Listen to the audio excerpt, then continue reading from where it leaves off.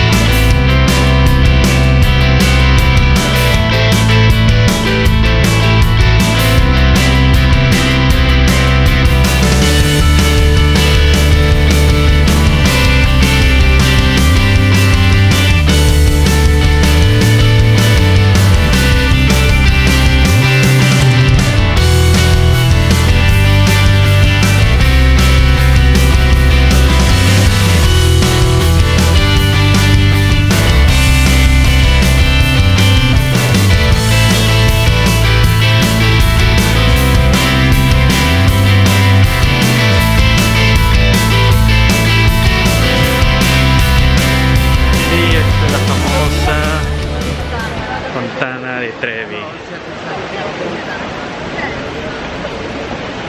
Está chida. Está chida. La Fontana di Trevi es la fuente más monumental de Roma y una de las más hermosas del mundo. Esta fue construida en el siglo XVIII por un hombre conocido como Nicola Salvi, que sorprendió a todos con este diseño asombroso. Una de las características destacadas de la Fontana di Trevi es el contraste entre la monumentalidad de la fuente y la estrechez de la plaza en que se encuentra, tan escondida entre callejuelas que cuesta trabajo encontrarla. Además se corre el rumor de que si tú tiras una moneda en esta, en esta fuente, es muy probable y aseguras que vas a regresar a la ciudad eterna llamada Roma. ¿Qué onda? Estamos llegando al Coliseo y al Foro Romano, donde están las antiguas ruinas de la vieja Roma. Y está haciendo mucho frío aparte. Demasiado. Está muy cabrón.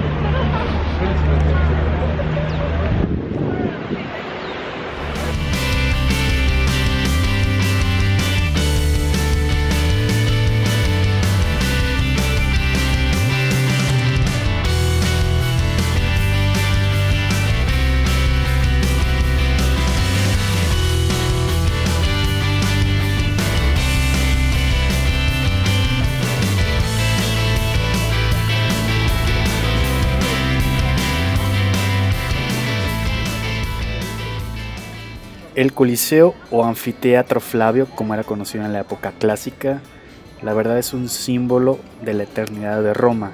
Te transportará como pocos monumentos al esplendor de la Roma imperial. Su arquitectura casi perfecta le ha permitido subsistir 2000 años a pesar de los incendios, terremotos y los sistemáticos saqueos que ha sufrido a lo largo de la historia. El coliseo se usaba para peleas de gladiadores, así como una gran variedad de eventos. Los espectáculos llamados Munera siempre eran patrocinados por ciudadanos en vez de por el Estado.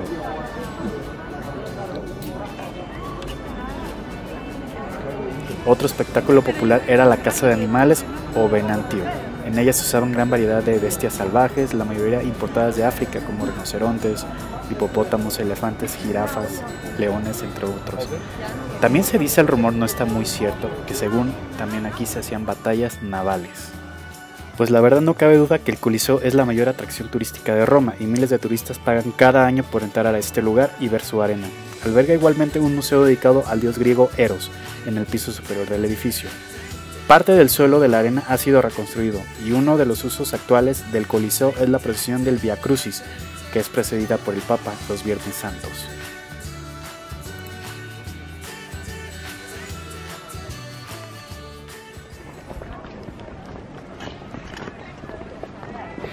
Yo pensé que ese palacio entonces era más mm, viejo, pero no.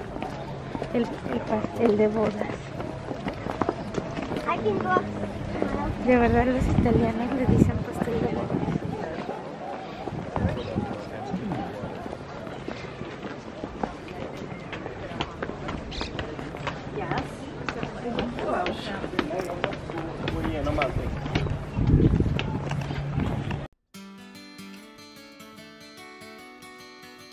Ahora estamos en el Foro Romano y este pues es el lugar donde se desarrollaba toda la vida ciudadana de la antigua Roma, la vida política, la justicia, el comercio, la vida social y el culto a los dioses. Era el corazón de la ciudad y está cargado de recuerdos de los principales protagonistas de su historia. En el Foro Romano también se pueden encontrar monumentos, edificios y ruinas de construcciones como el Arco de Tito, construido en honor a la victoria de Roma sobre Jerusalén en el año 70 a.C. También se encuentra el Templo de Vesta, donde el sagrado fuego romano se mantenía ardiendo.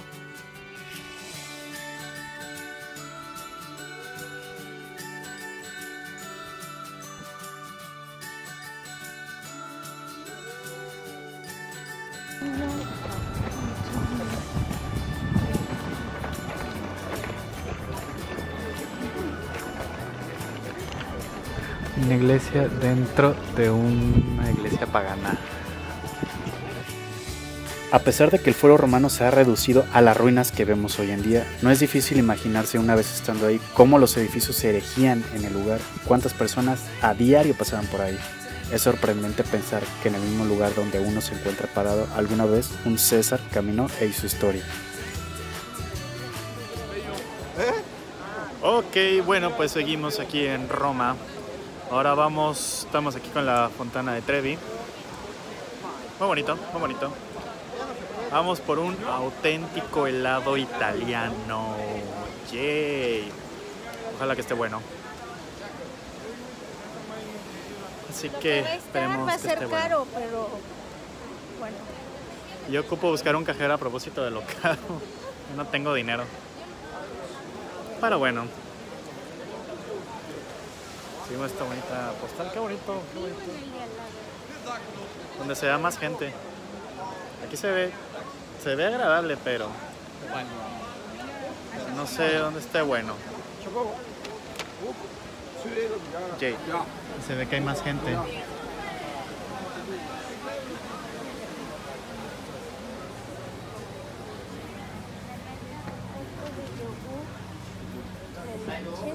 De chocolate con nata, qué rico.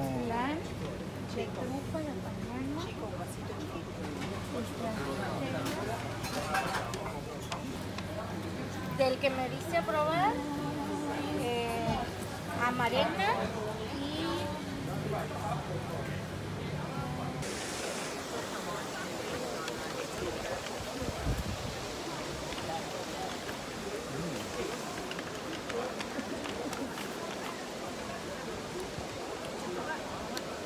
Está muy bueno. Está bien bueno.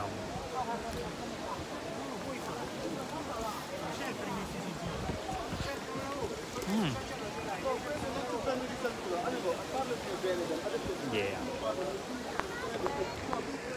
Bueno, pues esto fue parte de lo que viví en Roma. Espero te haya gustado el video. No te olvides suscribirte al canal, compártelo, este, regálanos un like.